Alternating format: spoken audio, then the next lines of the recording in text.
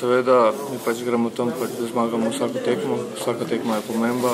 In pač mi smo v grupi z Rusijo, z Srbijo, pa s Črnogorcem. Mislim, da vsako ekipo lahko premagamo, če igramo kot ekipa, pa tudi lahko z, z vsako ekipo izgubimo. Tako da mislim, da bo kar zanimivo in pač gremo tam, pač da zmagamo. Priprave so za vami, verjetno so bile naporne. Ja, bile so naporne, ja. Pač žal mi je, da nisem mogel biti celo pripravljen zraven, da sem imel pač težavo, imel sem malo operacijo, ampak mislim, da smo se kar dobro pripravljeni, pa da smo spremni za Evropsko prvenstvo. Kako je z vašo poškodbo in kaj vas je mučilo? Jaz sem imel že 3-4 mesece mučil te žulje, pač nogi in to sem mogel pač dati stran. Ni bilo nič tako tazga.